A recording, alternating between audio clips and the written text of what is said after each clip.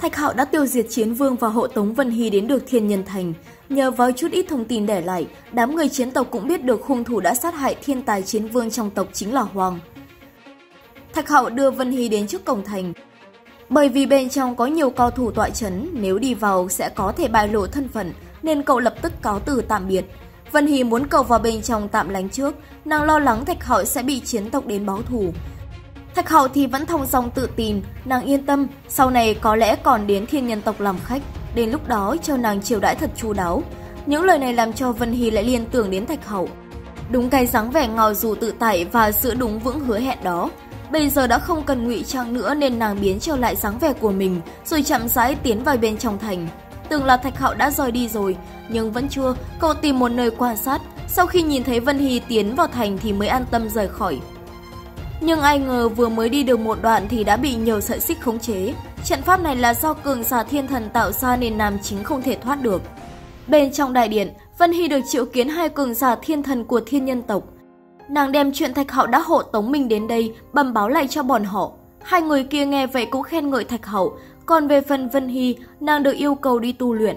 Ngoài chu nàng thì còn có một tên thành niên là U Vũ, cũng dung hợp được thiên mệnh thạch. Bây giờ cả hai đã an toàn đi tới đây rồi, hai trưởng lão muốn họ tu luyện cùng nhau. Thiên mệnh thạch có thể để cho thiên nhân tộc đạt tới cực hạn tiến hóa hoàn mỹ. Chỉ cần để Vân Hy và U Vũ triệt để dung hợp, đều sẽ trở thành sơ đại mạnh nhất. Theo tộc quy thì đương nhiên nên để hai người họ ở cùng nhau.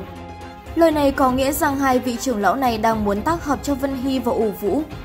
Về phần Thạch Hậu thì bọn họ vẫn còn phải nghiệm chứng thực lực. Nhưng với việc hộ tống Vân Hy từ huyết sắc bình nguyên tới đây, lại có thể thoát thân an toàn thì đã được xưng tụng là nhân tài kiệt xuất rồi. Thế là người đàn ông trung niên muốn thu phục Thạch Hậu, nhất định phải để cậu dốc sức cho tộc của mình. Bà lão liền nảy ra sáng kiến đó là dùng mỹ nhân kế lôi kéo. Thạch Hậu được thả ra ngoài, bà lão cũng không quên xin lỗi vì sự hiểu lầm và tỏ vẻ rất cảm kích. Thạch Hậu nghe vậy liền muốn cáo từ rời đi, nhưng bà ta vẫn níu giữ cậu ở lại với lý do là muốn báo ân. Thạch Hạo biết càng ở lại lâu thì càng nguy hiểm, nên hỏi thăm đối phương định báo ân như thế nào. Bà ta chỉ tay về một cái tế đàn, xung quanh tế đàn đang có rất nhiều người đứng quan sát. Ở trung tâm có một khối gọi là phi tiên thạch.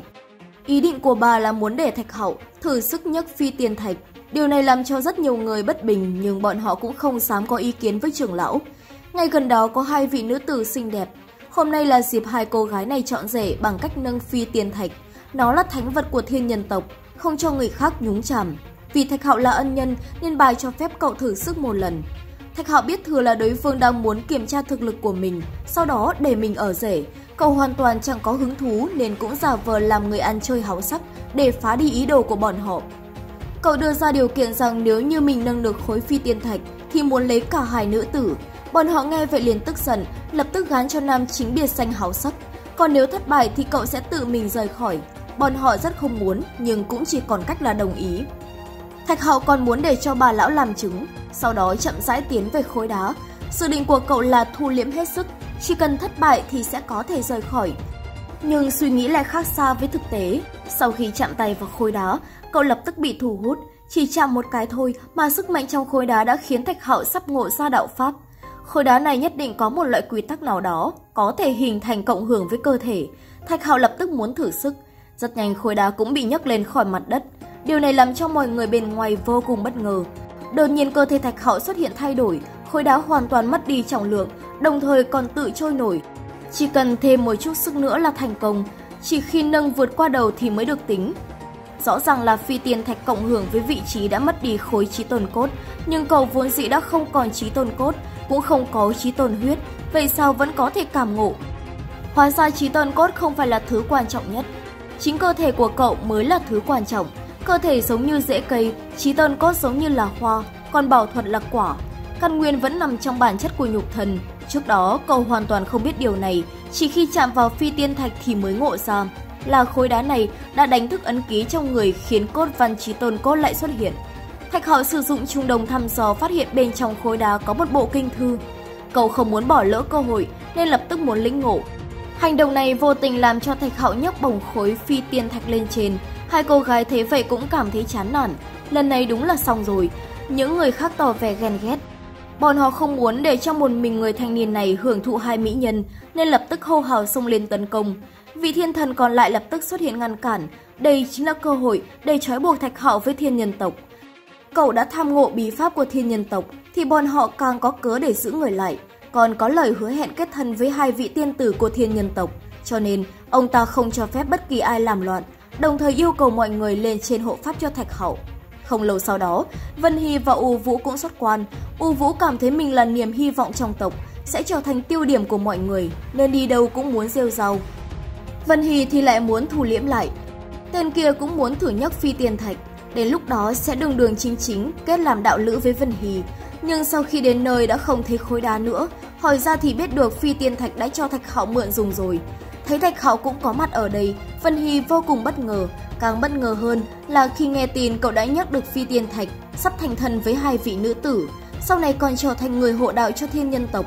Vân Hy nghe xong liền cảm thán, một lần cưới hai mỹ nhân, đúng là tên phóng đãng mà. Phía bên ngoài thành, Minh tộc cùng nhiều cổ giáo kéo quân đến bảo vệ trận cổng. Hành động này làm cho hai vị thiên thần cùng rất nhiều người tức giận. Bà lão tỏ vẻ không sợ. Người đàn ông thì bình tĩnh hơn, Ông ta cho rằng Minh tộc và thiên nhân tộc trước giờ không liên quan, hôm nay ồ ạt tới đây chắc chắn là có nguyên do. Đúng lúc này, thiên thần của Minh tộc muốn vào bên trong cầu kiến. Một tên thanh niên áo đen bước vào nói chuyện, hắn ta trực tiếp nói thẳng vấn đề. Minh tộc không có ý xấu đối với thiên nhân tộc. Chỉ là bọn hắn nghe nói người thiếu niên tên Hoang đang ở nơi này, cho nên muốn thiên nhân tộc mời Hoang ra ngoài để hắn được lĩnh giáo vài chiều. Đám người thiên nhân tộc nghe vậy cũng bất ngờ, Họ không ngờ rằng người hộ tống Vân Hy đến đây lại là thiếu niên thiên tài mới nổi danh. Điều này càng làm cho thiên nhân tộc thêm khó xử. Nhân tài như vậy, bọn họ càng muốn lôi kéo, cho nên đã hẹn tên kia so tài vào thời gian khác. Thiên thần minh tộc không đạt được ý nguyện nên bắt đầu uy hiếp, bởi vì Hoang đã kết thù oán với rất nhiều thế lực, trong đó có chiến tộc. Một lát nữa thôi, chiến tộc sẽ dẫn đầu các đại giáo tới đây. Thiên nhân tộc muốn một mình đối kháng thì có phần không dễ dàng. Hắn hy vọng thiên nhân tộc đừng vì chút ân tình của Hoang mà hủy đi cơ nghiệp. Nói xong lời uy hiếp, cũng là lúc tập phim khép lại. Thạch hậu sẽ đối mặt với chuyện gì tiếp theo? Các bạn hãy đón xem nhé! Cảm ơn các bạn đã quan tâm theo dõi. Xin chào và hẹn gặp lại mọi người trong các video sau.